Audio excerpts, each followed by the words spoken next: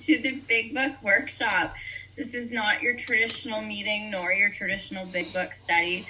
Uh, we get into the meat and potatoes of the Big Book and we look at the highlights and discuss it in detail. Um, for the purpose of this Zoom meeting, the meeting will be muted with the exception of our facilitators, myself, Kimberly, uh, Joe to my right on my screen, and Tony to my left on my screen. Um, and uh, we only have a couple rules around here. Uh, number one is if you have your video on, your clothes must be on. Um, if your clothes aren't on, your video can't be on. And uh, any inappropriate behavior will result in you being removed immediately. immediately. So that includes in the chat um, as well as on screen. Um, we try to keep the chat open so that you can ask questions or answer questions. Um, but if it's uh, becoming a problem, we will have to turn it off. We have a couple of co-hosts assigned to help us monitor behavior, so please keep your clothes on and your behavior above board. And uh, I was going to ask Joe to say the set aside prayer, but Joe disappeared. Oh, there he is. There he is. I mean, the dogs are just going nuts. They wanted me to open the door. Um, my name is Joe, recovered alcoholic. Hey, Joe. And how we start this thing uh, is uh, with the set aside prayer, and, and the reason why is in looking at some of the stuff, we're going to be looking at it from a new perspective, a new view. This prayer helps you get into that state uh, and, and really soak it in too. Dear God, please set aside everything I think I know about myself, this book, my illness, these steps, and especially about you, dear God, so that I might have an open mind and a new experience with all these things. Please help me to see the truth. Thanks. Right on. Recovered alcoholic. My name's Tony. Sobriety date's April 8, 1989. Pretty exciting night. Um, we're going to probably look at a lot of things that some of you probably looked at it that way, but some of you probably going to hear stuff in, and uh, probably in, in, a new format. We're just going to use the book, and we're going to go with what the book says, but we're going to back up, and uh, we're going to start on page 45. I don't know if anybody would have guessed that page, but we're going to start there and, and get do some highlights to where we are and the underlying theme, what this is all about. Because a lot of people talk about different layers to this thing, but there really is only one purpose and one theme to this thing, right? But a lot of people miss it because they, they start going into remember what our first obsession is. Anybody remember what our first obsession is on page 23? Ourselves and being our own solution. Anybody ever have a problem with that idea? All of us had a problem with that. It gets very painful pursuing our own ideas to what we think is the solution to ourselves, right? And then, veritably, a lot of us end up getting drunk again, very depressed, suicidal, hospitalized, jail institutions. You know, you don't have to be drinking to end up in a puzzle, in a puzzle factory, right? Some of us take a long time to try to get our cheese back on the same plate as a cracker, right? And that's the whole idea here, right? Some of us, our cheese and our cracker haven't been on the same plate for years. So hopefully, by the time you, you get to this stage of the game in step 11, at least they're all in, in the same proximity on the same plate, and you get to kind of organize them a bit. So we kind of we discovered we, we know the symptoms of alcoholism. We understand there's two symptoms in alcoholism. We understand that alcoholism is beyond our pay grade. We kind of talked about that on page 44. We understand in the preceding chapters is so we learn something about alcoholism. We're able to diagnose ourselves now with what type of alcoholic we are and this the necessary solution and whether we need spiritual aid or not to um, to overcome this thing. And if we want to overcome this thing, some people want to go on to the bitter end. I know people who've made a decision that you know what, I don't want this solution. I just want to carry on and live my life the way I'm living. And they might die a lot of years before, but they're ha- quite happy doing what they're doing. As an observer, it doesn't make sense to me, but I'm sure there was a time my story didn't make sense to a lot of people either, right? What you're doing. So being convinced, you know, that, that any life run on self will, and they talked about here um, the inability to create this change within inside of myself based on, on a singular act. So we hear a lot of people talk about acceptance. We hear a lot of people talk about letting go, turning it over, surrender. These these singular acts sound nice, but it doesn't bring about the necessary power, that relationship we need in order to create this change. And they talked about that on page 44, 45. If a mere code of morals or better philosophy of life were sufficient to overcome alcoholism, many of us would have recovered long ago. True or false? Right? How many people really tried to change their lives? How many people try to be better people? How many try try to be kind? Work on my behaviors. Work on this. Go to church. Be Mr. Bean in the choir. Like on and on, right? Like we we tried all these great things, but inside the argument never changed, right? That that kind of that dilemma of self. So they talk about here. What's that in uh, page forty-five there? What's our problem? What do you got, Kim? Lack of power. That was our dilemma. What's a dilemma? A problem. Yeah. So now we understand what that dilemma is in association with, right? If you would have went just to this page, you wouldn't understand what that dilemma was in association with and is very specific about the kind of change we need to obtain in order to recover from this thing right? So they're saying the only thing that that started this conversation way back when the book started was the story of how many um, men thousands of men and women had recovered from alcoholism. And then when they started this they said you know, um, we have Alcoholics Anonymous are more than 100 men and women who have recovered from a seemingly hopeless state of mind and body. To show other alcoholics precisely how we have recovered is the main purpose of this book. And then they do the introduction in a doctor's opinion, and the doctor said people who were afflicted with his illness, they seemed in, in his his his kind of um, uh, in his uh, treatment center and his observations, there only seems to be one thing that was sufficient enough to help these certain types of alcoholics. And what was that? Entire psychic change. Entire psychic change, right? And otherwise, what keeps on happening? The promise of step one. They keep on relapsing over and over and over again, even though they don't want to. So it becomes an act against their own will regardless. And then when we went through Bill's story, we hear all this nice stuff. It sounds nice and fluffy from the podium. You know, I was given the gift of desperation. I've been, well, if you really want to break that down, that's the gift of my connection with God. G O D, gift of desperation. I got that from Joe. Right? The gift of desperation is the need to reach out to something greater than you and pursue a remedy. Because if the gift of desperation was enough, would have Bill got us sober the second time in treatment? If it was enough, yeah, he would have. If if the gift of desperation, acceptance, and surrender, and willing to go to any lengths, remember Bill's story the second time around? Yeah. He had all the elements that we hear in the fellowship of somebody should be able to get their life together. And so, was that enough for Bill to create this transformation within inside of himself to recreate his life? Did he have the willingness to recreate his life? 100%. Did he have the desire? Would he was he willing to do anything it took? Did he have the gift of desperation? What he wouldn't give, eh? Right? And then he kind of submitted to the fact that the ultimate surrender. Alcohol was my master. Yeah. So he should be good to go. And then we find out, based on his conversation with the doctor previous to that, he said, you know, fear kept him sober for a while, right? But then what happened was the insidious insanity returned. Not the obsession, the insanity. He couldn't see, feel, and touch. He was back drinking again. Right? Remember, somebody pushed a drink his way. One of those times he took it. Was I crazy? The thinking after the drink, not before the drink. If we were able to kind of logically look at a drink beforehand, then it wouldn't be an illness. It would be a behavioral problem. How many people here is after they've taken a drink, oh my God, what am I doing? I'm not supposed to be drinking. How many people made a solemn oath here never to drink again? How many people, how many, like over and over and over? Right? And then you come to AA looking for a solution to a dilemma that, that's beyond your scope of understanding. That dilemma. What is this problem that I have? So, here a lot of people say, I've done step one before I got here. Unless somebody explained to you alcoholism, what you did was suffer from step one before you got here. Here you learn the fatal nature of your illness and you get to concur whether you have it or not. So by the time you get to page 44, you concur that I have this, this twofold illness and left to my own devices, I'm going to drink again. And the only thing that's going to save me is this psychic change or spiritual experience. I have a problem with that. They said, We know you have a problem with that. So let us explain to you what we mean by a power greater than ourselves. Let's give you our understanding of this power so collectively you'll understand what we mean. And step 3 and 11, says, Made a decision, turn our will and life over the care of God as we understood Him. How did they understood Him? Collectively, they have the same understanding.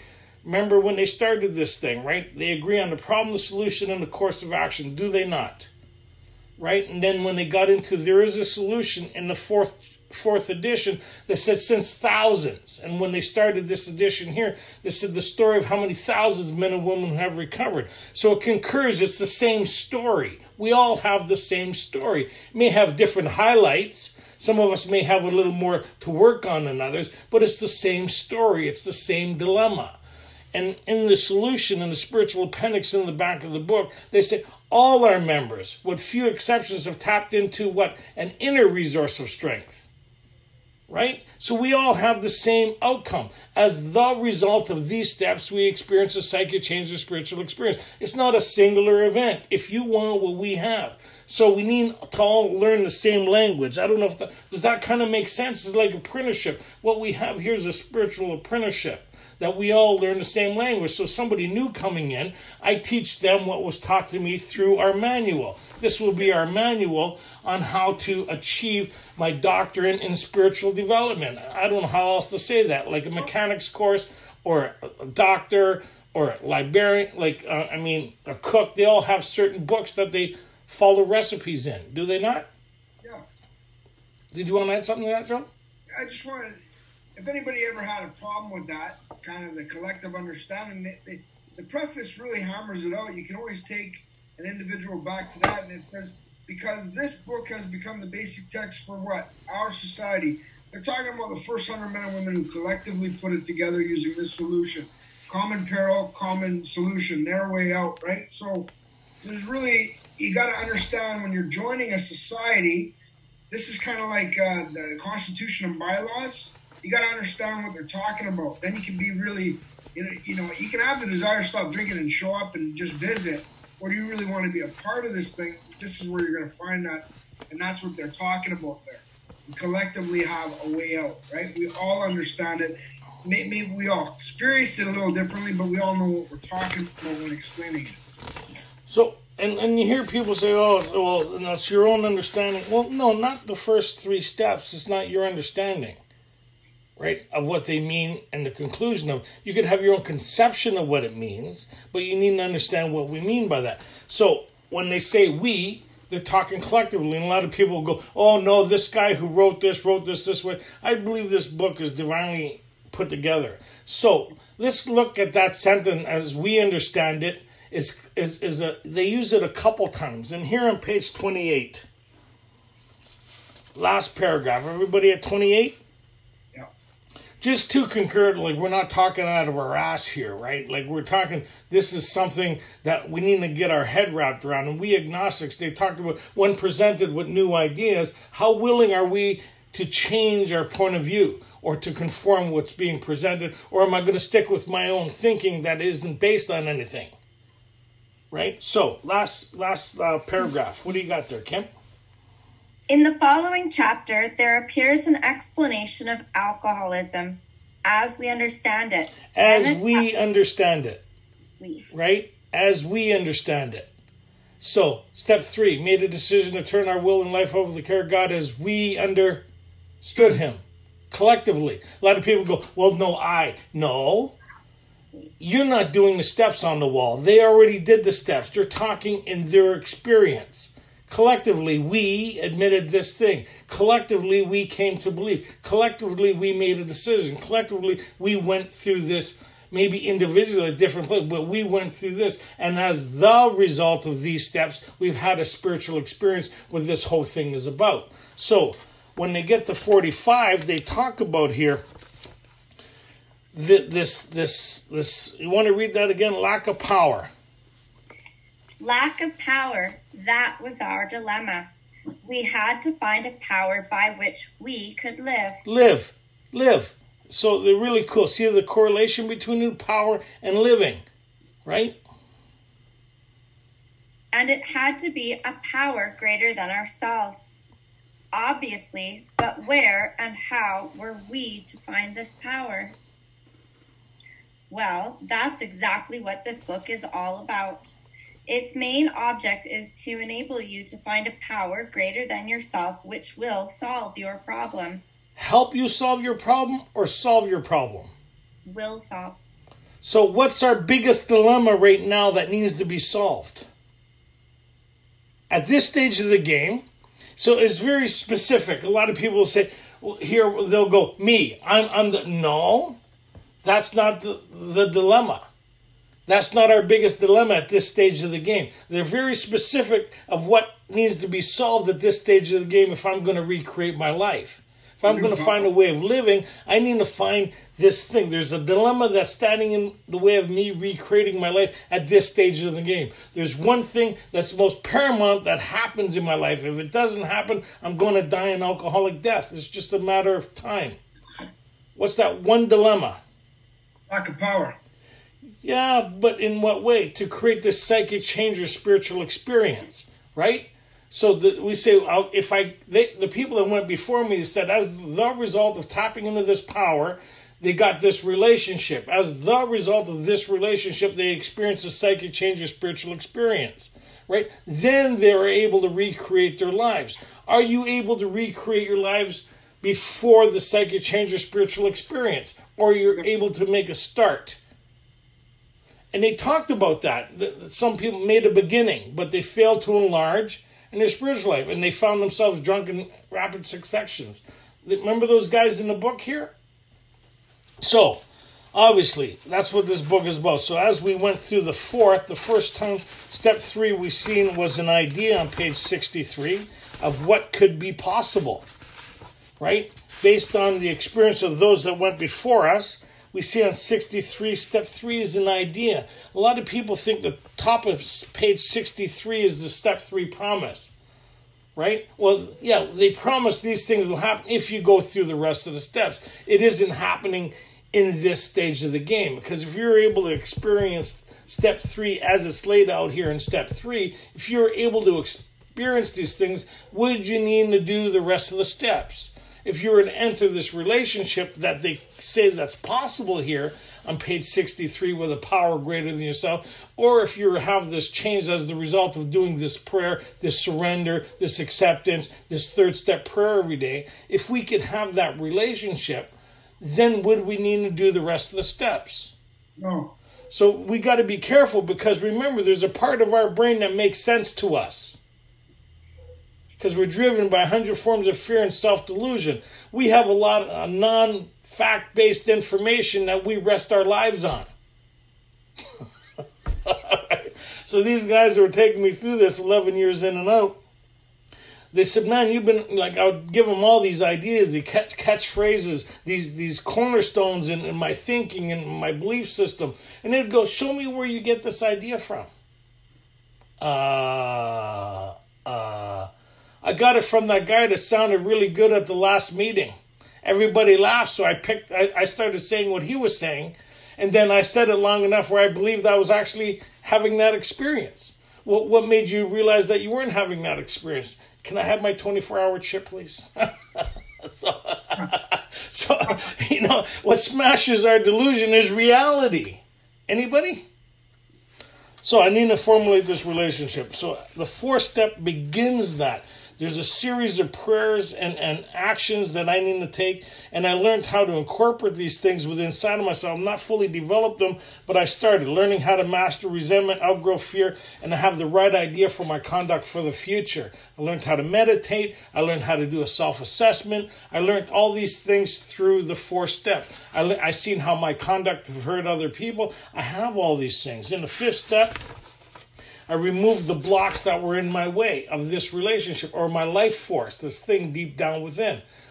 Right? And so that's what they talk about the fifth step is about, right? Having had having made our personal relation inventory. What does that say, Kim?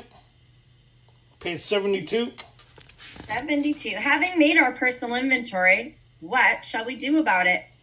We have been trying to get a new attitude, a new relationship with our Creator and to discover the obstacles in our path. So when they say a new relationship, you ever go out with somebody? Anybody ever been in a nightmare of a relationship here?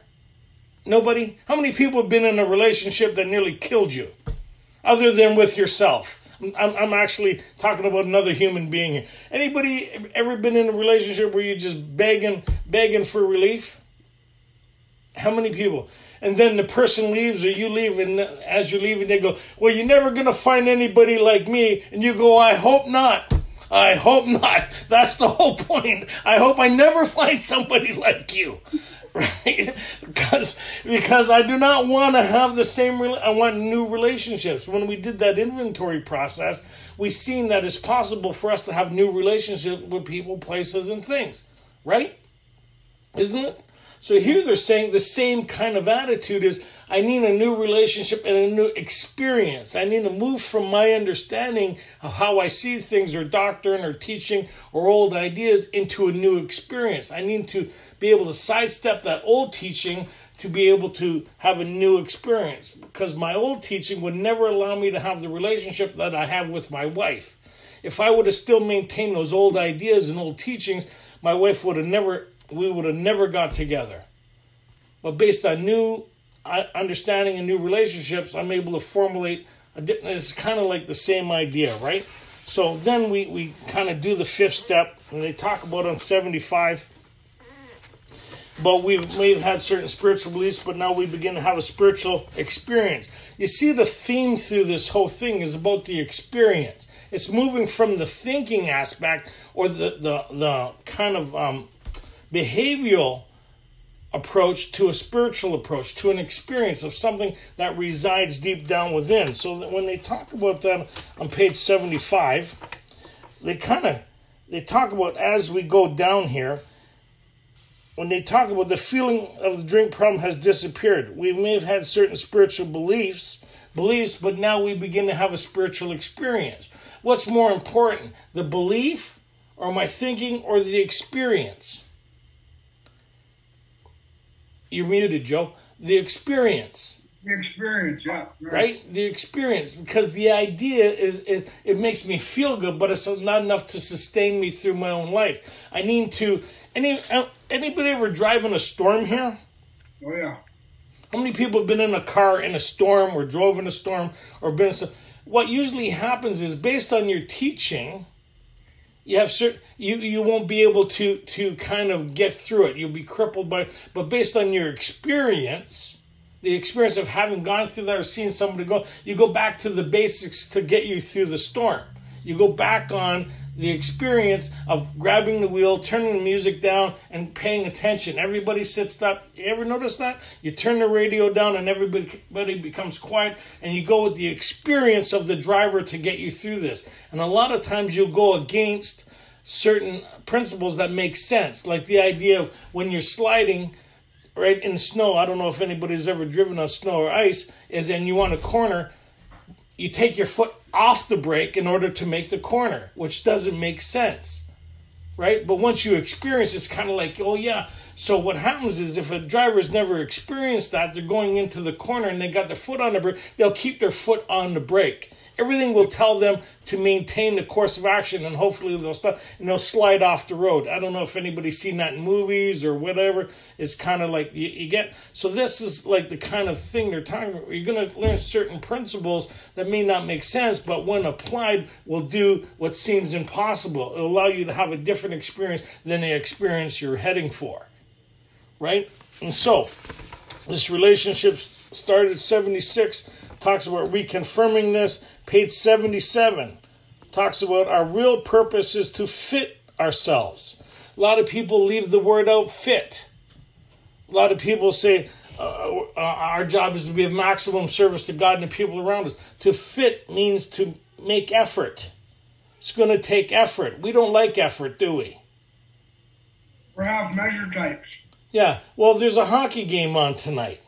Yeah. Well, it's your home group. There's new people there. Yeah, well, somebody else could look after them. There's a phone shift. Oh, well, you know, I'm kind of, you know, nobody really calls. Well, there's a 12 step list. Well, more qualified people can do it. There's that new person at the home group nobody talks to. Yeah, there's a reason for it. Just leave them alone. you know, like it takes effort to. Yeah, how many people have been to a meeting here where you're all with your buddies and everybody, and there's a couple new people shaking it rough, maybe not smelling too good, not looking too good, and you see them inside of you. You see them. Something says go over, but you make an excuse not to, or you get busy doing something else. Anybody? We all do it right? To fit yourself means something inside has talked to you. You go over and say, hey, you know what? The best I can do maybe is offer you a coffee, let you know you're welcome here. There's literature, or maybe introduce you to some. But the fit is to be of takes a bit of uh, bit of work. So we went through last week's step ten. How many people found that interesting last week's? Uh, I mean Tuesday's uh, uh, uh um, uh, input from the book. You notice we just used the book, eh? Yeah. Right now, and and how many people really had to really open their mind to see what the book was saying? How many people argued a bit with what the book was saying based on what they were taught through other people in the fellowship and and these these generic answers you know i do steps 10 11 and 12 every day right i do step 10 i do step 10 i do step i i st- like step what that means is when i do step 10 every day i'm in counsel with me every day that's what's right because if you're focusing on you who are you in counsel with problem yeah and when you see there's a problem it's usually too late yeah Anybody ever uh, get caught speeding here in a car? Usually, when you see the radar, it's usually too late, eh? Yeah. Right? So that's self awareness. That's why you got to get those little beepers. No, anyways, moving on. you need to get a spiritual beeper. Beep, beep, beep, beep. Anyhow, so 83 is, is, is the, the thing. They said, so 82 this, this is what brought us here. Now we're going to give you a new concept. We're going to start a new conversation here. And this is the best place to start up because it really leads into. Remember how they started 10? It says, right? This thought. This thought of what? Of this development. Of what? Of our nines and continuing on. But I don't have the recipe on how to do that. This is really cool. The spiritual life is not a theory. Right? Yeah. Kim? What? Oh, sorry, page 85. Yep. Oh, I'm sorry, I was on 83. Okay, yeah, me too. I was somewhere. Um, we're, we're going to go. It's easy to let up on the spiritual program of action. Yeah, yeah. It's easy to let up on the spiritual program of action and rest on our laurels. Anybody here? Anybody? Mistaken feeling better for getting better, and I could just ride feeling better because I'm going to feel better for the rest of my life. Anybody? And then slowly you're in counsel with who? Me. Yourself. And slowly you can't even stand you anymore. You think it's everybody around you. But when you can't stand you, nobody around you has a chance, do they? No. You just eat them up like, uh, like a tornado. I remember, looking at this guy when I was new. was so what's your problem? My friend goes, Leave him alone, he's blind man. What's the matter with you? Anyhow, I had a lot of problems when I was new. Okay, go ahead. Well, he's staring at me. I didn't know. Okay. Self reliance. Okay. It is easy. We, we are headed for trouble if we do, for alcohol is a subtle foe.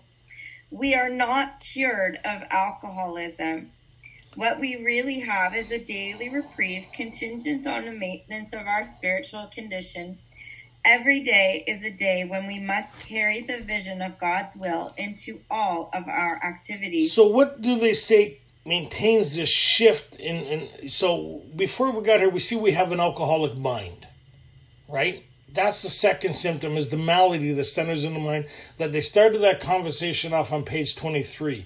It was the first introduction to this thought that our main problem centers in the mind, right? It's not the obsession, right? The obsession is an association with people who still think they can drink or alcohol is still the solution. They really haven't done step one. Once you do step one and smash the idea that you can never safely drink again, then the obsession should take care of itself. Prayer, or whatever, going to a meeting when you have that desire. When Bill had that problem of wanting to drink again, the obsession returning, right? What did he do? He applied these principles and went and worked with somebody, right? And overrode it. When they talked at the top of the page, was when, when tempted, when tempted. That means there's a moment when you're tempted to do something. That there's a moment of contemplation there, isn't there? One hundred percent. So, based on truth, you could smash the idea hey, you know what? I can't drink. I'm allergic to it. I can't safely drink. I could recoil from it, Like a hot flame. right? But if I'm spiritually not well, and the insanity returns, what can I do about it? Nothing. Nothing. So we see that there's a shift in my thinking somewhere where the alcoholic mind has been removed. Right? It's it's cast to one side if you want to say it. As long as I stay spiritually fit, it won't return. If I diminish my spiritual condition, what returns? It's the, the idea. The idea or not not only the idea, the alcoholic mind returns. There's a shift in my thinking that I can't see, feel, and touch that they explained on page 37. It's a phenomena. Because if you could see it coming, if you could see relapse coming, then we just work on the steps then, right? You wouldn't need to do it all the time. You hear people say, in hindsight, they go, Oh, I seen it coming. No, you didn't. No, you can't. Well, can I add something there? You can. Well, that's and that's why I like how they use the word alcohol as a subtle foe, and it's really when you read what it says in the in the Old English and, and uh, in the 1935, it means a, a lurking enemy or not easily understood, right? So it, the, what happens is we, we feed people the, the delusion that you can keep on guard from this thing, when really you can't see a guy in full camo gear hiding in your bush, and and it's just right? Yeah, and who puts them there is we do. We put the guys in the bushes. So one one of the things when they talk about daily reprieve is I don't know what exactly the combination of things I need to stop doing in order to get loaded. But I know the combination of things that I knew that that keep me sober. Right? I know those combination of things. And I've been doing those things and, and branching off on them for the last 31 years. When somebody showed me this recipe and we got to where we are here, I understood what they were saying here is we want to be able to see this shift. Oh, I've got to watch when I'm irritable, restless, and discontent. Wait a minute. What about that guy with not a cloud on the horizon? Things were going fantastic. So, right. so it's, it's, it's the, the deception that I'll be able to see this thing. So they need to give us a recipe or a formula that I get to see when I'm off track.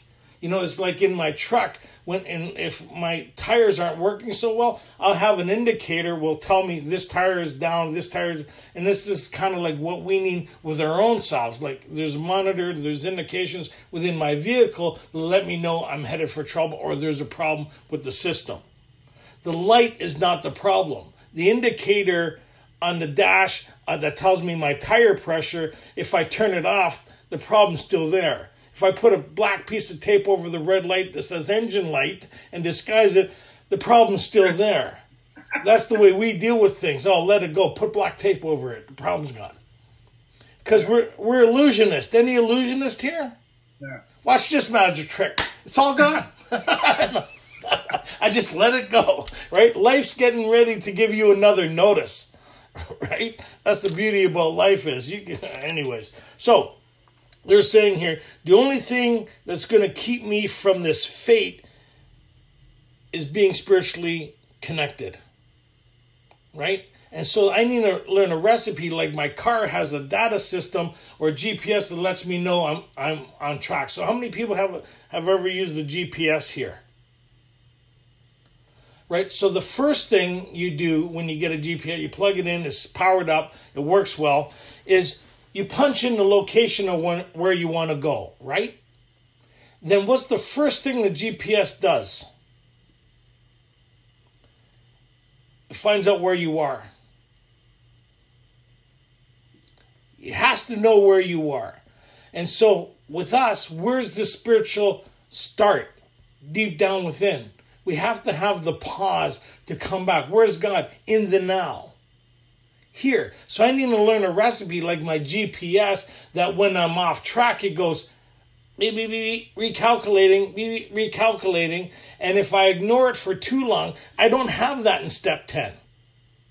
What I have is conflict with other people that let me know that I'm off track. If you're new, you're not only in conflict with yourself, you're still in conflict with everybody around you. Anybody? Especially family and friends people close to you. You still have that part of your brain, the, the grouch and the brainstorm a bit that you need to really pray and do restraint restrain the tongue, keep your mouth shut. Anybody have that problem in early sobriety? Keeping our mouth shut is not our strong suit, is it, people? okay. So here, I need to formulate this thing, this GPS with my, my life guidance GPS, God's prayer system. I need that formulated within inside because my old GPS would lead me back to where I used to go. Right? The old way would say go this way. And I don't know if you ever been on a GPS where you're going a certain way and the road's closed because it's hazardous to go that way. It's unsafe to go that way. You see the sign, so you go a different way. Right? And everything says go this way. You're going that way. Your GPS is still going, no, go the other way, go the other way, go the other way. Anybody been there? right? But you have to go this way. That's like these spiritual principles of these terms. I have to go this way. But everything is saying go that way. Everything's saying fear based, instinct based, still responding this way. So everything's saying, the anxiety is saying go this way, but the new teaching is saying go this way, right? And as you go along, somewhere along the road, the GPS will switch over to your new route.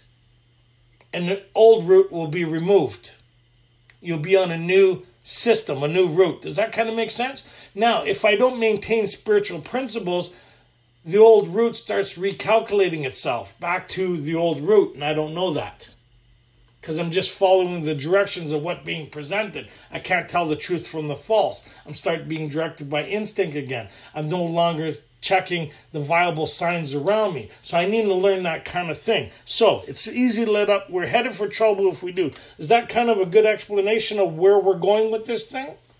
Okay. What? Let's go with what? What we really have. What we really have is a daily reprieve contingent on the maintenance of our spiritual condition. Not on our memory, not on the pain, not on step one, not on yesterday. Those things are not enough for people like us. If there were enough, a lot of us have a lot more support. Remember, we can't remember. Remember? Remember, we deal with alcohol, cunning, baffling, and powerful. People go, what's the most important part there? They go, cunning, baffling. No, remember, we can't remember. Remember? That's what it said. Remember, you can't remember. Remember? Oh, yeah, I remember. okay, go ahead. Every day is a day when we must carry the vision of God's will into all our activities. How can I best serve thee? Thy will, not mine, be done. These are thoughts which must go with us constantly. So you see there, sorry. Yeah, so what what we see there is step 3 has shifted. Step 3 I'm turning my will and my life over because I don't have direction or connection or or this relationship. I'm asking that this thing be taken from me that's killing me alcoholism. So in step three is the starting of this. Now it's saying i have this relationship. It's up to me how i want to govern myself. When i do step three is not to remind god it's to remind me. When we when people are married why they wear a ring is not to remind the people around them it's to remind themselves so when people say, I do step three every day, well, what they're saying is, I don't really have this relationship yet. And I still need to remind myself of this commitment that I made. Right? Because now that I'm married, for the length of time that I'm married, I don't wake up every morning going, oh, hi, are we still married? Like we're we're in a relationship. We, like if I did that, it, it, would be a problem. We just had our 11 year anniversary. He said, "Well, should we go for another year or what?" So, like before we got married, we made the commitment that this was going to be a lifelong endeavor. That's what step three is. It's a lifelong endeavor, right? I'm going to formulate this thing, right? So that's what they're saying here. Now I got my will back. So quit blaming God for the shit you do your people must be God's will. No, no, no. You, you, you're the problem. If there's a problem in your life, guess who's probably orchestrated it?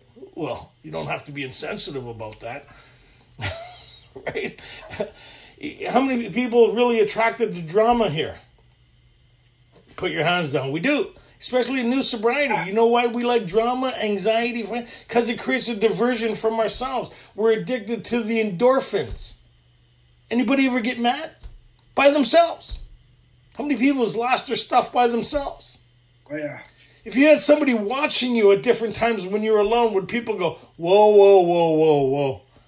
Well, I don't any good drywallers here. yeah, near Trustrit. Okay, go ahead.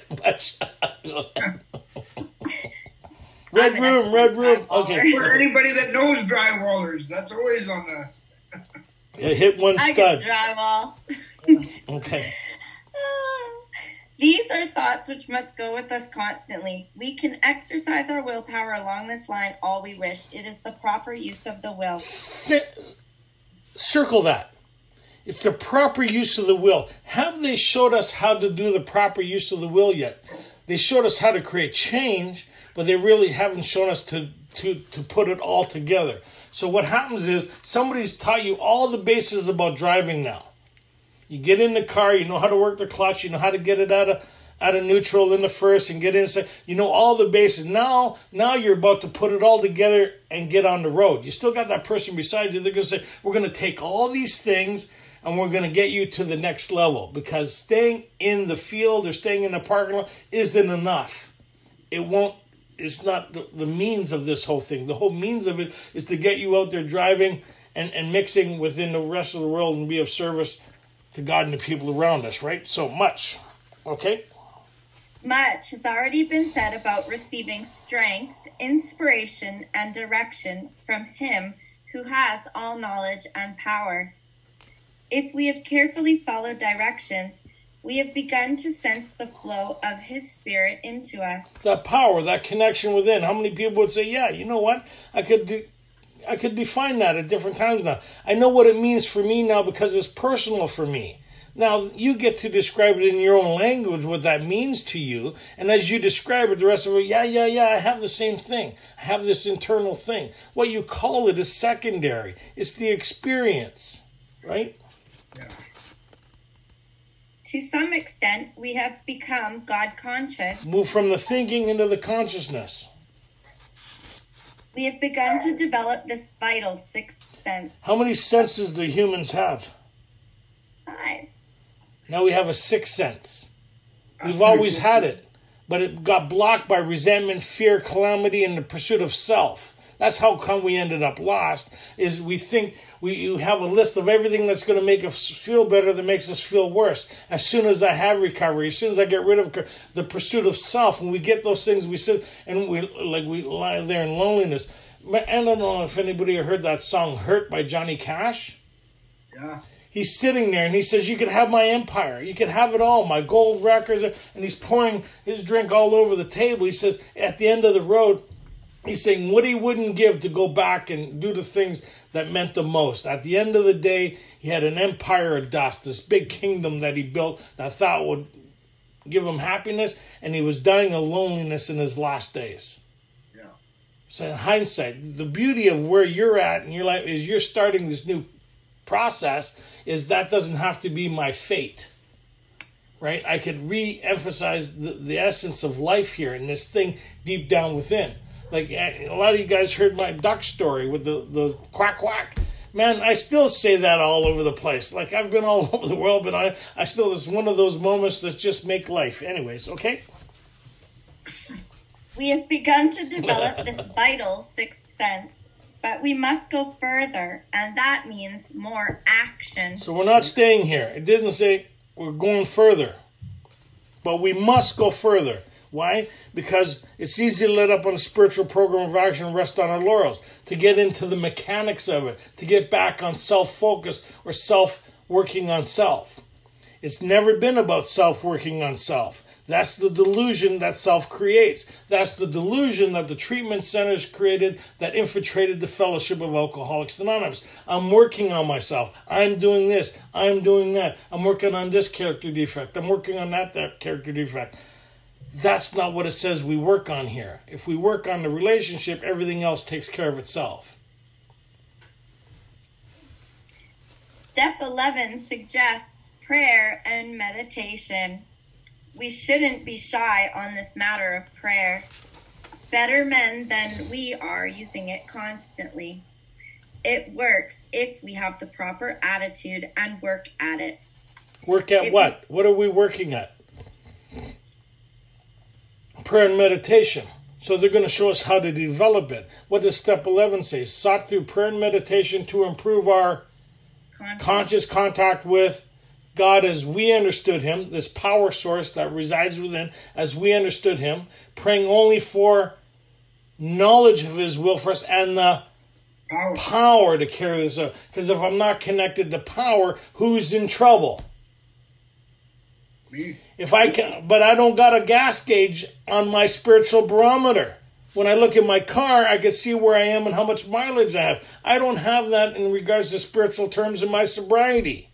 That's why they say it's a daily reprieve. If I could rest two weeks and then build up spiritually again, then I, guess who would rest two weeks and then build up spiritually again? How many people would just do a, enough to get them by? It said it in the book, I'd be doing it. right. Okay. It Yeah. would be easy to be vague about this matter, yet we believe we can make some definite and valuable suggestions. When we retire at night, we constructively review our day. So you notice that? You notice that? Is that we finish six and seven, we read through eight and nine, the review. We we come up to step ten. It says here in step ten, it- what did it say, Joe? It says Step 10, which part? the first part, the introduction to step ten. This thought brings us to step This 10. thought. And then we read through it. Now is the instruction. When at night. You notice it didn't start in the morning? At night. When is it starting? When is step 11 starting? Tonight. At night. A lot of people say it's step 10 at night. That 12 and 12, God bless those people that put it together. It wasn't Bill, it was that other guy. I think it caused more confusion around Tom this Powers. thing. Huh? Tom- Tom Powers wrote it, more Christian. But so in our big book of Alcoholics Anonymous, when we retire at night, it's not step 10, it's all the summary of the whole course of action we've done up to this point in time that allows us to do an assessment of what's going on with self, the meditation part. So when we retire at night, we constructively review our day. And so when you constructively review, you go quiet like you did in the fifth step after before reviewing the first five proposals. You sit quietly and your conscience will let you know if you've done something or not. A lot of people do 11 step checklist, like somebody else's step 11 checklist. It's not a mechanical thing. You need to see develop your consciousness with your power, your relationship. Remember what I talked about in 10.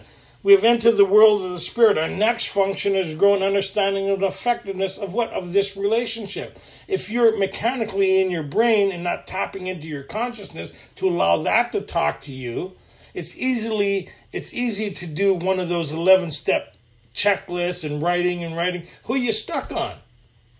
It's like that old Band-Aid commercial. I'm stuck on Band-Aids and Band-Aids stuck on me, right? You know, remember that commercial? We love that commercial, right? I'm stuck on step 10 and step 10 stuck on me.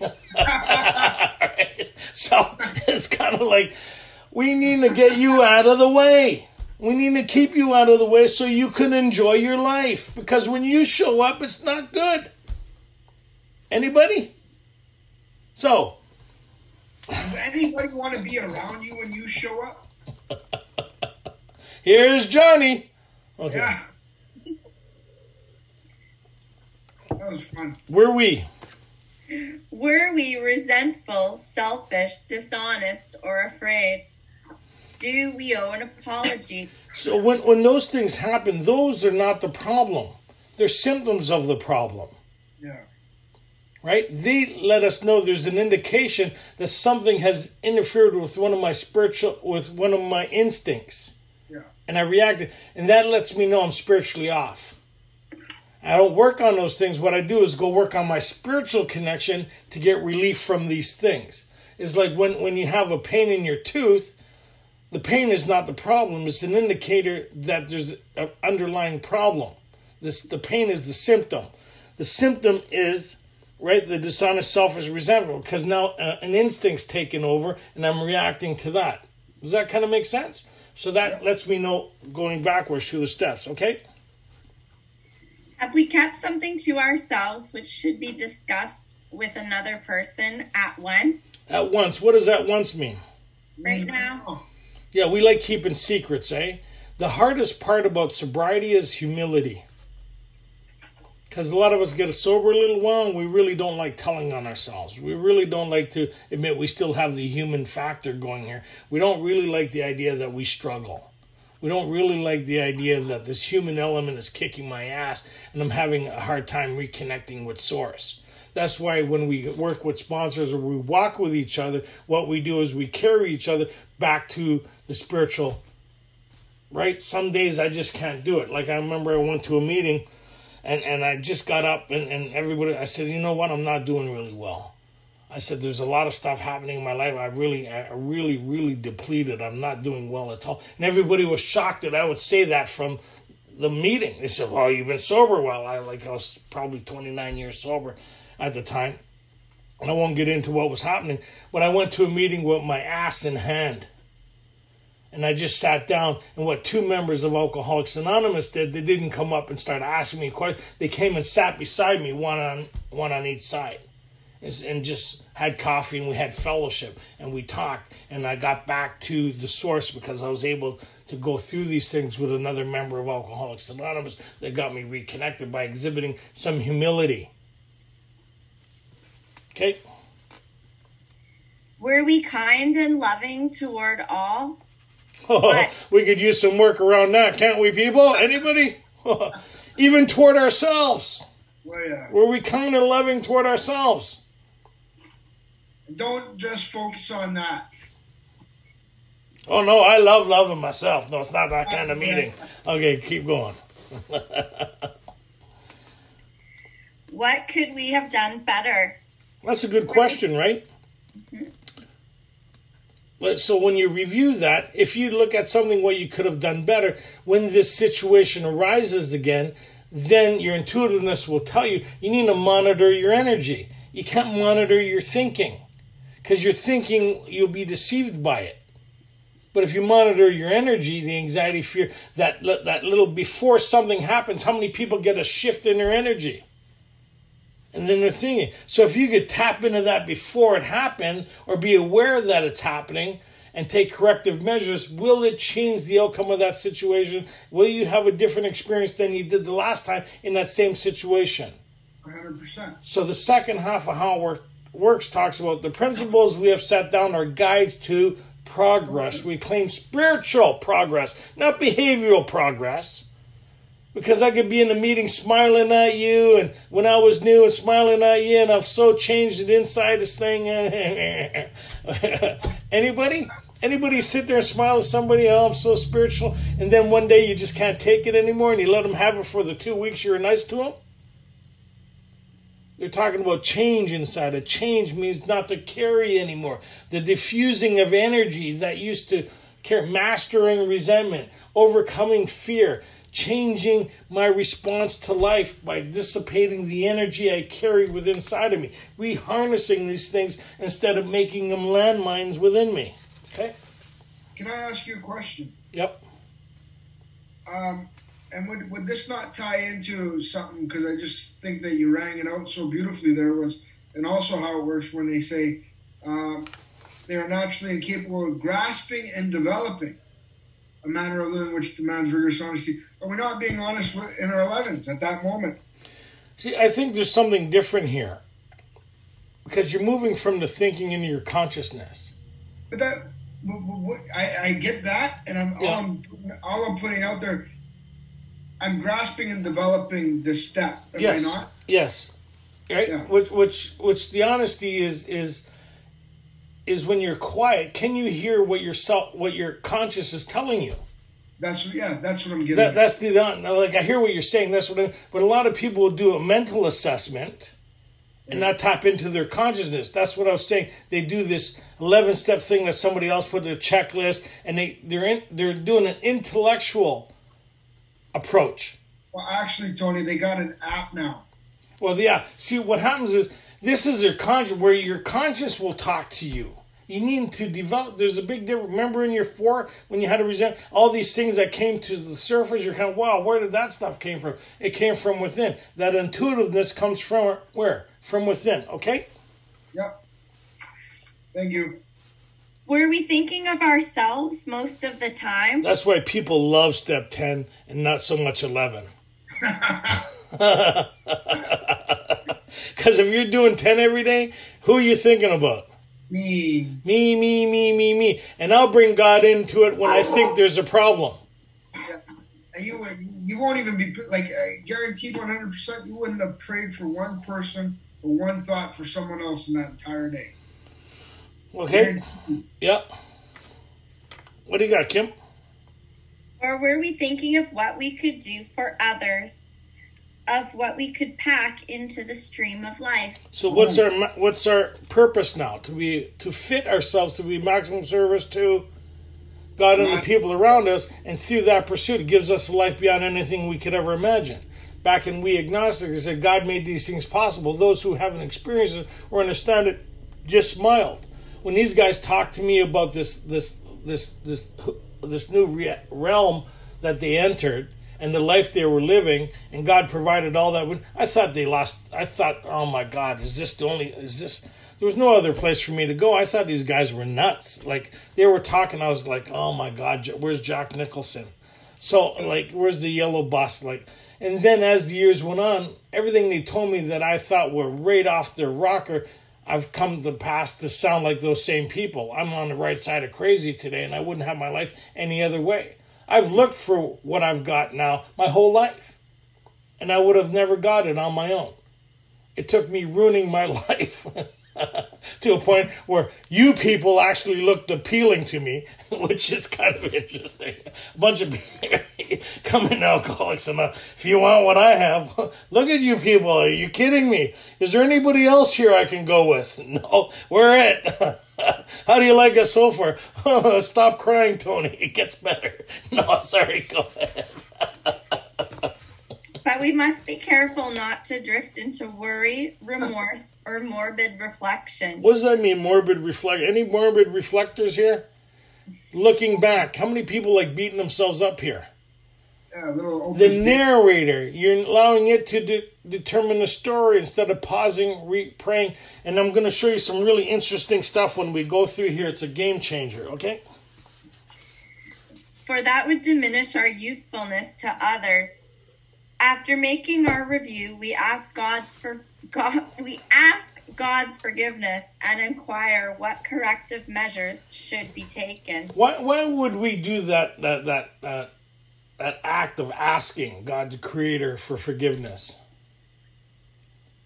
That means we don't have to carry anymore, right? That means if the Creator is done, I've passed it over, I'm done. The only one who carries it from here would be me, and that would be morbid reflection after that. That means, well, I haven't done my penance. A lot of us like serving penance, guilt, shame, and remorse. Anybody? when I've served my penance after beating myself up and I've done my time, then I'll move on. No, they're saying here, as soon as you acknowledge it and you're willing to move toward better things, leave it alone and move forward. Corrective, corrective, corrective as we go. It's like one of those boat launch things. You ever the click, click, click, click, click. You're getting a boat out of the swamp, right? You need to get it out of there.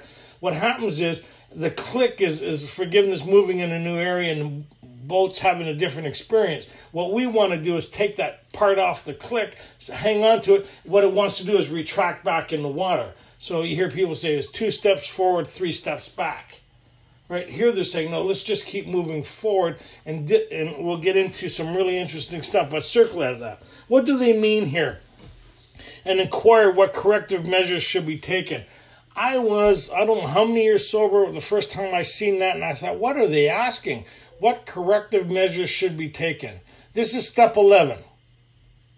It's asking us what corrective measures should be taken what corrective measures would I be taking here or seeking? That means I've I've entered these situations more than once. Anybody been in a situation more than once? It seems to repeat itself. It seems Yeah. to be a theme. People say, "Oh, it's uh, oh, whatever." Uh, uh, what's that word they use in treatment? Is is people patterns? Patterns. That's it. Patterns. Patterns and triggers and ah, I'm just. Uh, uh, it's like the Wizard of Oz. Oh my. How does that go? bears, lions, and tigers and bears. Oh my! the Wizard of Oz. Anyways, I'm having a squirrel moment. I'm reeling it back in. This is not the yellow brick road. We're not looking after all those things.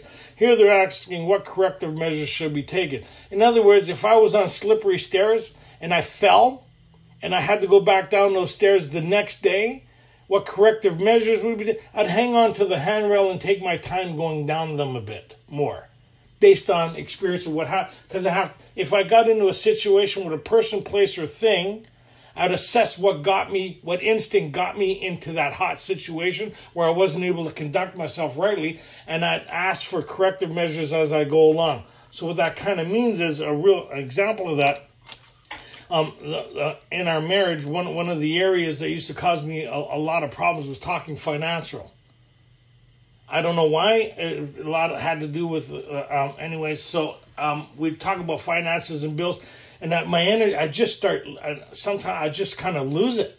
And then I'd apologize afterwards, right? And then we'd sit down and do it again, and then I'd lose it again. I just found myself just like driven by these things. So when I seen this thing probably 11 years ago, I go, what corrective? That meant when I'm sitting there and we're talking, what that meant is I feel the energy starting to change. And what I do is I say, you know what? Could we revisit this? I'm starting to get instinct based here. I'm starting to get some anxiety. Would you mind if we revisit this later so I can kind of get my mind set around this?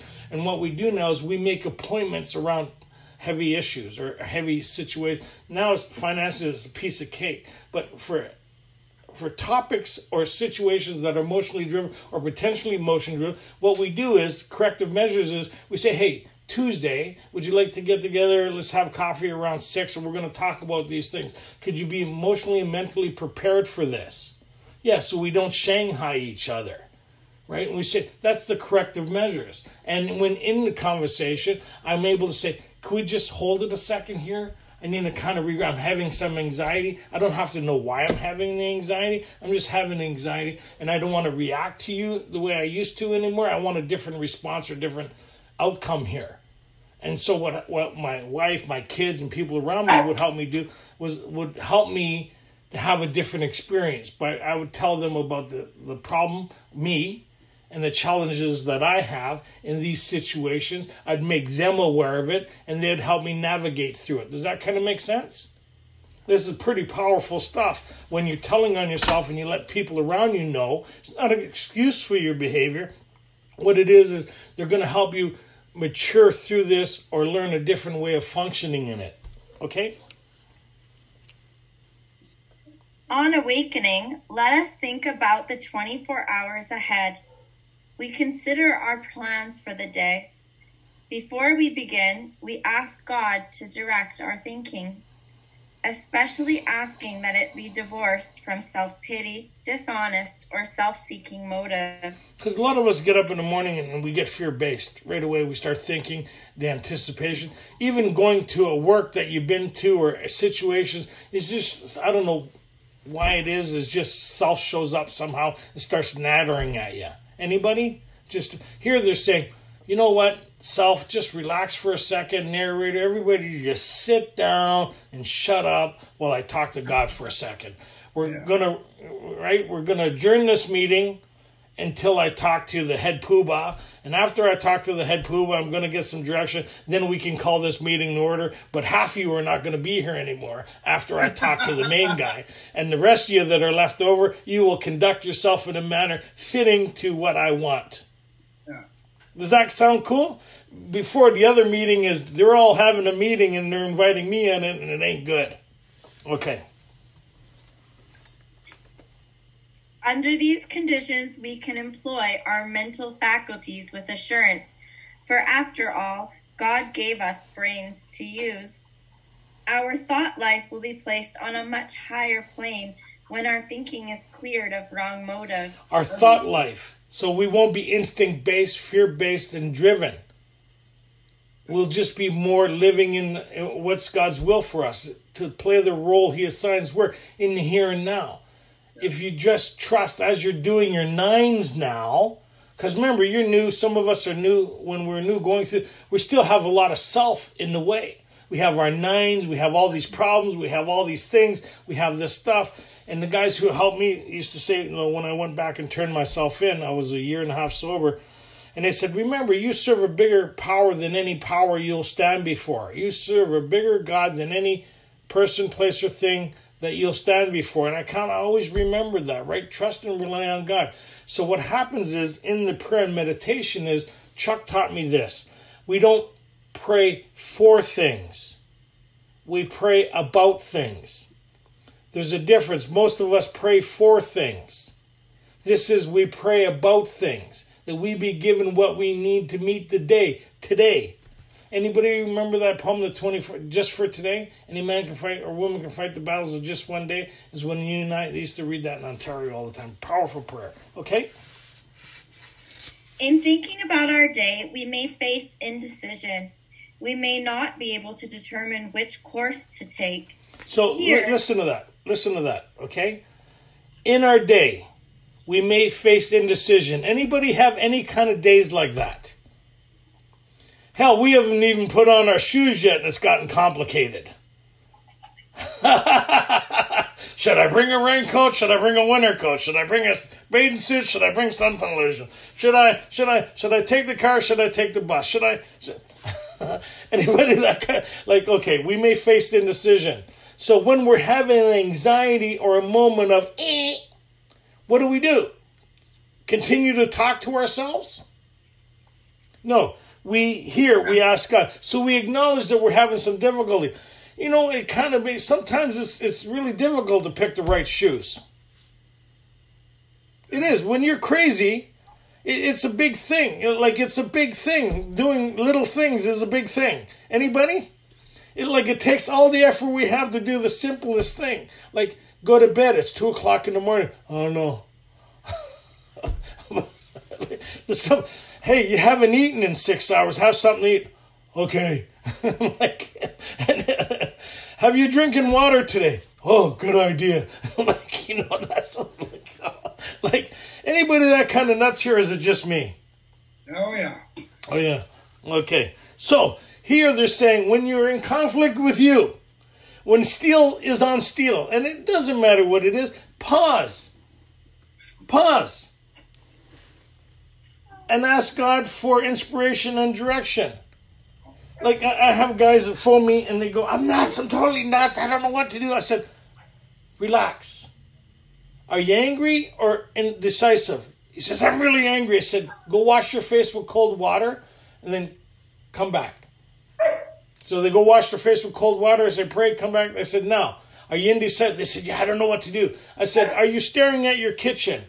They said, Yeah. I said, Are the dishes piled up past the window? They said, Yeah. I said, Go do the dishes. Call me when you're done. Click. For me. Well, I didn't see how that was help, but I feel a lot better that the dishes, I don't know what to do now. Are you staring at your bedroom? Yeah. Have you done the laundry in the last two months? Well, I don't know how that's going to help. Click. right? Do what's next. It's not complicated. If you're looking at something and something tells you you should be done, anybody ever been at a home group and something you see something that needs to be done? How many people have seen that? Oh, this needs to be done in my home group, or that needs to be done.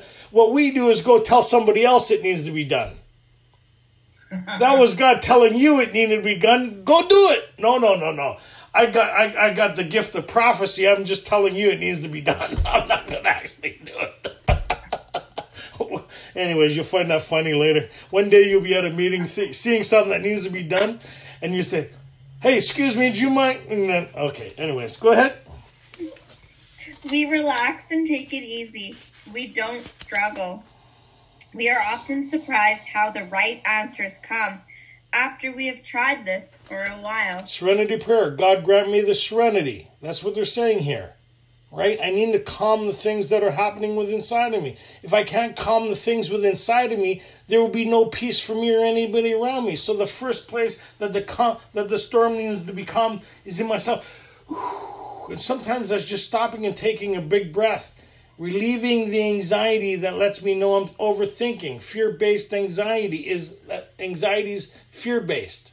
Is to stop, take a big breath be where my feet are. Okay, God, what do you want me to do? When in doubt, phone somebody, or go to a meeting, or go to bed, or do something. Right? Okay? What used to be the hunch or the occasional inspiration gradually becomes a working part of the mind. So, what needs to become a working part of the mind? This recipe. Yeah. Upon awakening, when we retire at night, these questions, this connecting with Source, went into connecting to God, not conversations with me all the time. I pray that you guys stay sober long enough that, that you have this happen. One night I, w- I was having a, a trouble sleeping. I guess I was having a nightmare or some conflict in my sleep. My wife says, "You know that was really funny." I said, "What?" She says, "You started praying in your sleep. You couldn't. You couldn't. You're having some form of conflict. You're jousting and like doing something, and then you just started praying in your sleep." I said, Get out. okay, no, uh, serious. You could ask her. You what? No, I, I wouldn't lie to you about that. That that's pretty well. It becomes a working part of the mind. It, it's just the, the the pausing, right? Because when to pursue would mean your own cat. You know the fight or flight, right? The fight means my life depends on it. The pa- the, the the the pause means the freeze. When to move would be my own conflict, my own demise. We need that pause. Okay? Being still inexperienced and having just made conscious contact with God, There's that conscious contact again, the experience, right? it is not probable that we are going to be inspired at all times. Wait till you experience that. It'll be funny. Okay.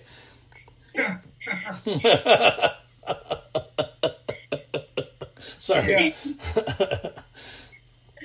That's a, that's, that's a humility. Uh, Oh, yeah. that's right there. Yeah. We might pay for this presumption in all sorts of absurd actions and ideas. So, what that means, and just for people like me that was young when I got here, when finally got sober, is I see something very appealing and I pray to God, oh, please, God, can I have her? Please, I'll be so, it'll be so, uh, my concentration prayer is all about having a relationship with this woman. And then we get together, she's in treatment, we get together, and it's, it's a God thing. Because obviously God brought us together. Do you feel what I'm? Yes, I'm feeling it too. Oh, it's so, it's, it's, I, do you hear the angels? I hear them too right? And then after a while, I realized they weren't angels; they were sirens, man. I was like, so it took twice as many prayers to get right. For God, please take her back. It took twice as many prayers to get rid of her as it did the keeper. And I'm sure there's been a couple that had the same thing. Oh my God, look at that handsome devil. Boy, he's new in sobriety. I'm looking for a mate. I'm five, years, that girl, she was five years sober. She thought, wow, what a catch. Because I was on my best behavior at the dance, dressed up, not saying nothing. After a couple months, she went, whoa, whoa, whoa. Anyways, pay for these things.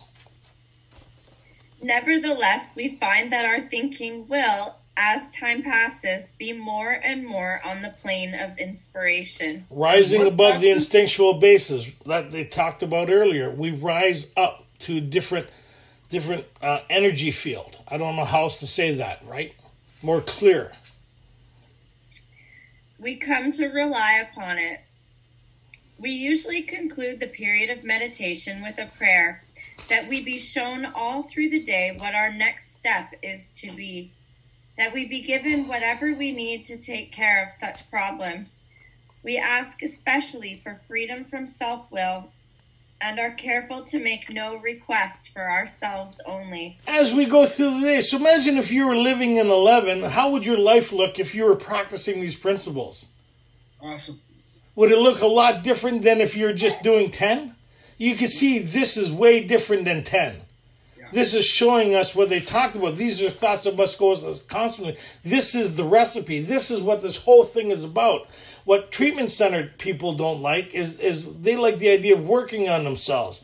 This idea is working on your relationship. The better your relationship becomes, the more conscious you become, the more in, in the now you live, the more present you become, the more happy, joyous, and free you are. You're disconnected from all those things around you of the delusion of life.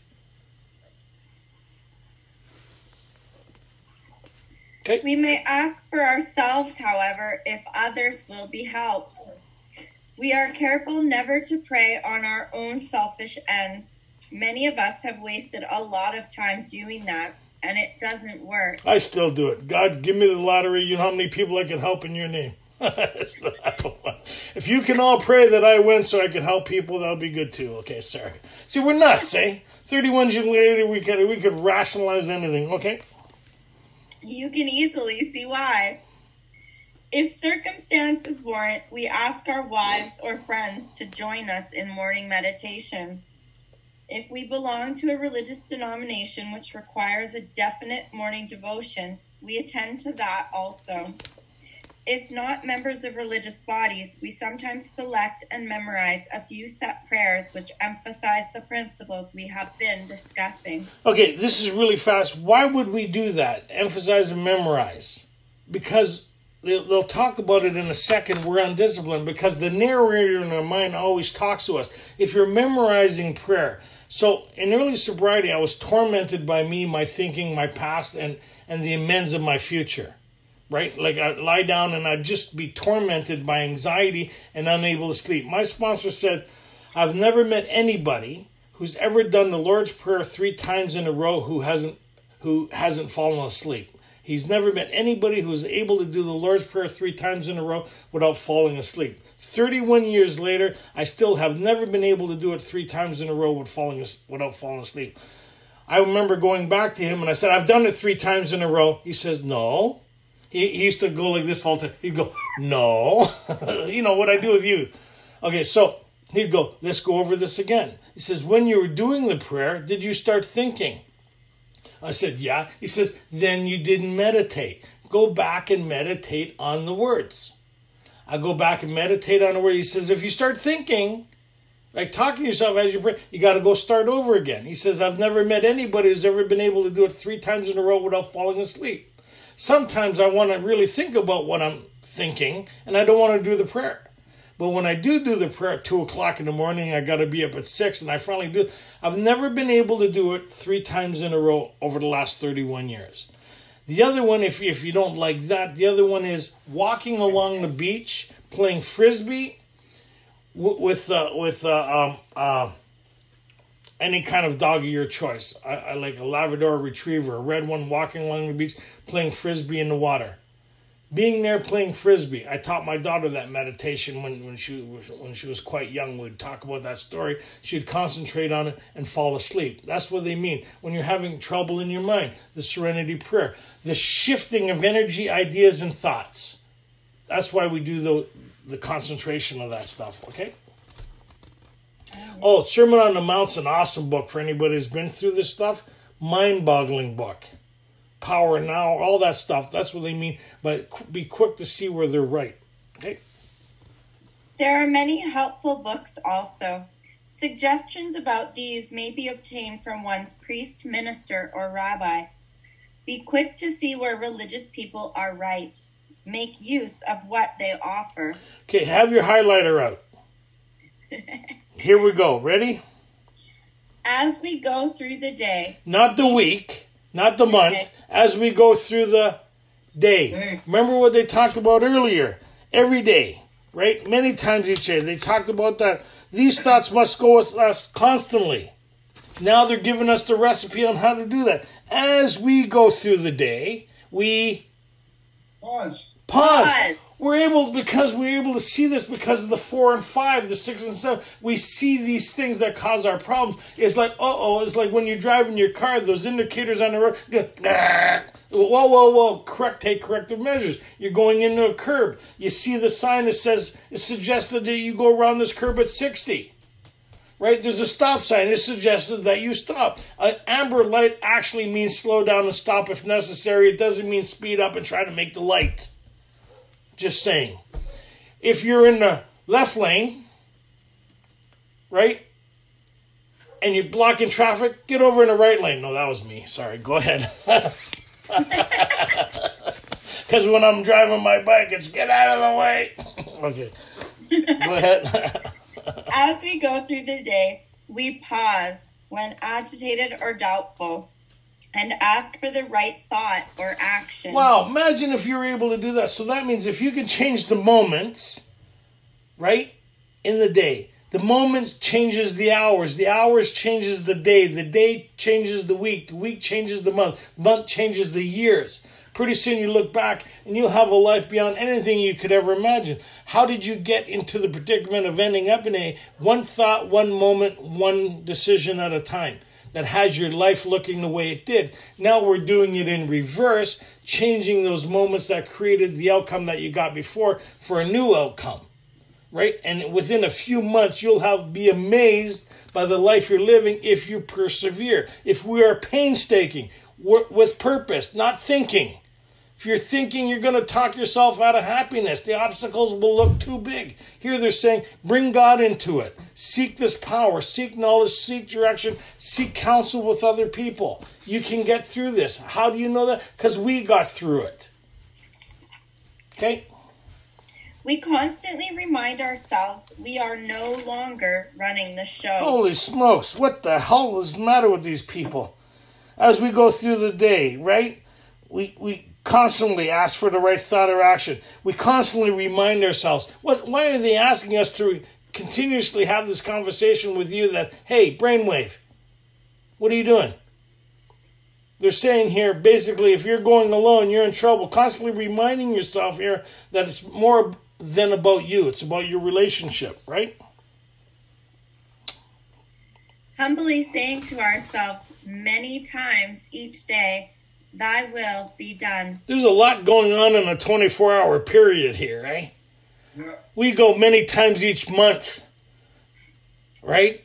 Or, or we think this meant, oh, I prayed in the morning and I prayed at night. No, no, that's not a relationship. Here they're talking about a relationship. When you're in a relationship, it's it's it's a part of you. It becomes a working part of your mind. I'm in relationship with my wife. We we have a like we're, we're almost we're of the same two different lives having the same life and the same experience. It's kind of weird. We're connected. She's my soulmate. I just we just I just know when things aren't right with her. I know when things are right, and when I know things aren't right with her, and I ignore that, I am not right. When I go away from that, I need to make right. Anybody ever been in a situation where they're ignoring how they feel about something or so, something? You're not right within yourself. When you go make right, everything goes in back into the way it was designed to be. And that's what they're talking about here. Is not ignoring what's happening inside of you and correcting it as you go along. Okay? We are then in much less danger of excitement, fear, anger, worry, self pity, or foolish decisions. See, notice what they used the language there? You notice they didn't say resentment? They said anger. Because resentment is the derivative of untreated anger that carries over into the next day. That's why they said when we retire night, were we resentful? That I carry this thing where it becomes an inner dialogue, an inner attachment of energy that's associated with another person, place, or thing.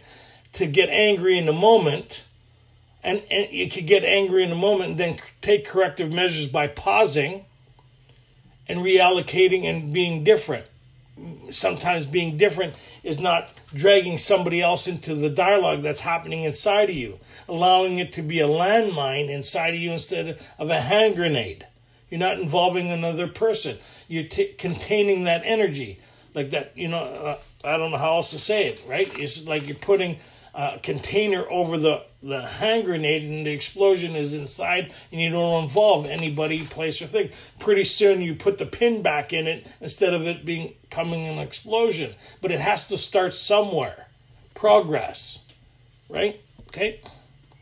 We become much more efficient we do not tire so easily, for we are not burning up energy foolishly as we did when we were trying to arrange life to suit ourselves. It works. It really does. Now, here's your highlight this again. We alcoholics are undisciplined. So, what does that mean? Let's start there. We alcoholics are undisciplined. What are they talking about that? We alcoholics are undisciplined. How? They just talked about it mentally, emotionally, and spiritually. We're undisciplined. We're used to be governed and driven by our thinking and our emotions. Anybody? We're, we're all trigger oriented. I'm so affected by everybody. Well, you're a walking sense of, you know, you're a walking sore.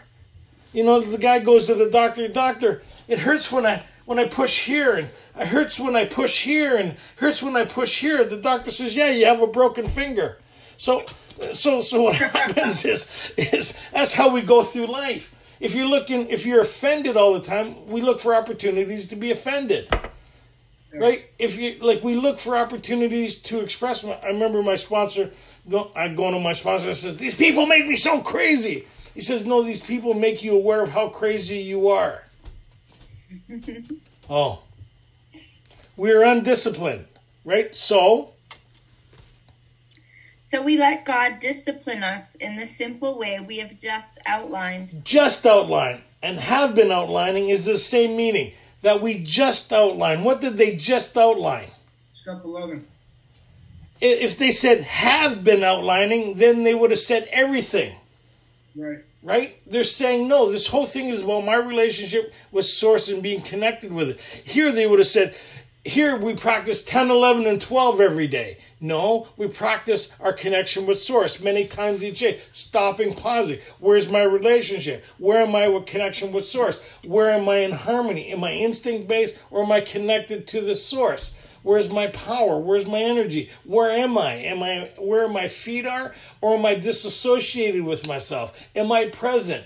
Am I able to be here? It's like going to a meeting. Anybody remember when you go to a meeting, you sit down and you're bombarded with all your thinking and things that are unresolved and the mind blah blah blah and it takes some of us like half an hour. When I was new, it sometimes take the whole meeting. I couldn't tell you who read how it works. Anybody?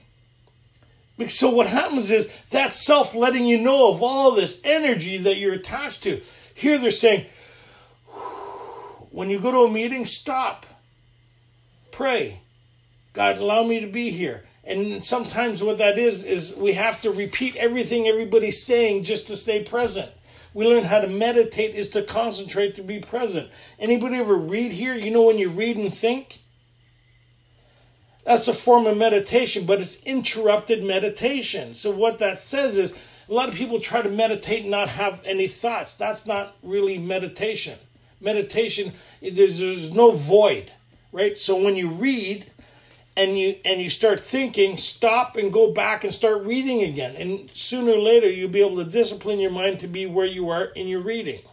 When you're in a meeting and you're prone to wandering, you stop, pray, and you start repeating the person who's reading how it works or their story or some or some form of prayer that keeps you present. So sooner or later, then you start finding yourself being more present than ever. So if I was to be disciplined in the way we just outlined, from morning all through the day and night, what would my life start looking like?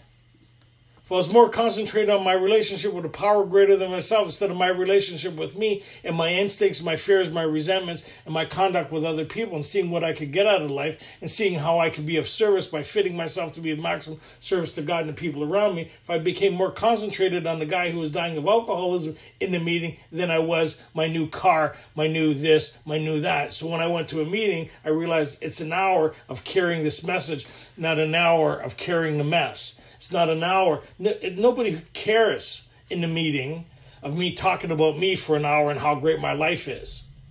What got me my life? What got me the life that I'm living? What has me connected? Experience, strength, and hope. What we used to be like, what happened, and what we're like now. If you want what we have, well, what allowed us to get this? This is what got us this. So, what they talk about, will be one second here, Kim. So, they talk about here if I don't do these indications, then that tells me I'm off. I'm getting off base. If I don't do a night, morning, and through the day, that starts telling me the indicators on my on my dashboard are starting to show up. This is the only indicator I have to see if I'm staying on track or not through this discipline. Because if I veer off the path and I'm not using the GPS, I have nothing to go by but how I feel, think, and start being deluded by self again. But if I'm doing this, I can't help but stay connected. Does that kind of make sense? Yep. Right on. Thanks, guys. I really enjoyed this. Oh, last exercise. Sorry. Is if how many people is looking for second stage recovery? First stage recovery is all about you. Second stage recovery is all about a relationship with something greater than you. And if you're looking for something to, to rocket you right into the fourth dimension, within three weeks you could have a whole new experience with you and the people in the world around you. So you take a piece of paper like this, fold it in half, right? And then on one side of the paper, you see here, so when you unfold it, so on one side of the paper here, write down how they do step 11. You read through it and, and hit all the highlights how they do step 11. Then, when you got all those highlights for one week, you'll. So tonight's Thursday, Friday, put the abbreviation of Thursday, Friday Saturday up there. And then when you retire at night, you ask if you did these things yes or no. These instructions, these disciplines, these spiritual disciplines. You'll write down yes or no that I do them for a week. Then, after a week, you'll take this piece of paper, put it aside, get a brand new piece of paper, read through step 11, how they do step 11 again, and you'll do that for another week. After that, you'll take that piece of paper, you'll put it aside. And after three weeks, you'll look at the pieces of paper and you'll see a remarkable difference of this becoming a working part of the mind, and your life will be rocketing into. It'll be just like like driving your car, right? It'll just be a natural way of doing things. Thank you. Thanks, Tony. Thanks, Tony.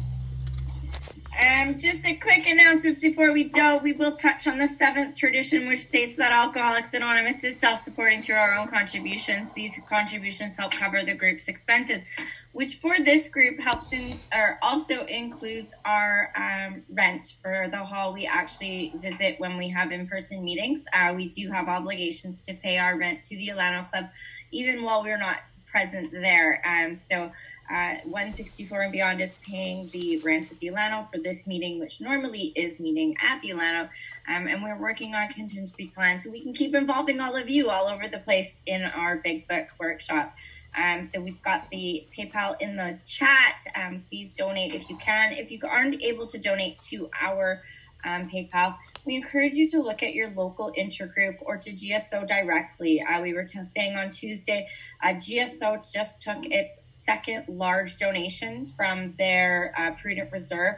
So instead of having 12 months of um, of um,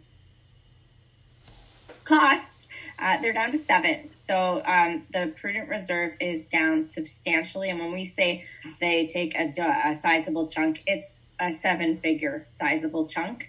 Um, so if you are able to donate to GSO directly, we encourage you to do that um, as well as include. Um, uh, encourage your local group to make um, their seventh split, even though you're not meeting. You can have a business meeting over the phone, um, via email, or via Zoom and do a split and donate to your levels of service locally. Uh, so that was in the thing. We're gonna close with what are we closing with please? Oh, third step prayer. And if we you find this helpful, what we're doing here, please uh, let us know. Um, uh, let us know on the Big Book page or let, let, us know through the chat. Hopefully, it's helpful. Hopefully, it's a lot of new stuff, very interesting, and, and it becomes magical. It becomes uh, uh this beautiful gift of Alcoholics Anonymous. Joe, you want to add anything before we close her up? Yeah, just uh, if anybody wants to touch on these talks, YouTube Tony R. Vancouver, and all the talks and the sheets are available on that channel. Joe does a great job putting this all together. He does a lot of stuff, the scenes in the background. He has a big book study that he puts on Sunday. You can get that information also on the big book page or ask one of the guys in the chat when that is. He does an awesome job for a guy in his mental condition. And Kimberly, you're always a bright, shining star. It's always good to be in your light. And uh, I pray that whatever you came here with, that you're able to keep. And if you're looking for something, I pray you keep it or find it. And for those who will, what makes this all possible, we'll close with the third step prayer. God, God, I offer myself, to thee, to build, to build with, me and to do with, do with me as, as thou wilt. Relieve, me of the bondage, of, the bondage of self, that I may better do thy will. Take, Take away, my difficulties, difficulties that victory over them may bear witness to those I would help of thy power, thy love, and thy way of life. May, May I do thy way. Thy will always. Live long and prosperous. Awesome. Thanks, everybody. Thanks, and guys. if you're interested, we do have our regular evening meeting starting in 26 minutes. Hang around, grab another cup of coffee, go use the facilities, and we'll see y'all in 25 minutes. Thanks, Joe. Thanks, Kimberly. Thank you, everybody, for having us in your homes. Everybody. Yeah, and I'll be wearing spandex tonight on the main meeting, just so you know. This is where we pro- pause and pray. Thanks, guys. good night. Gotta go eat.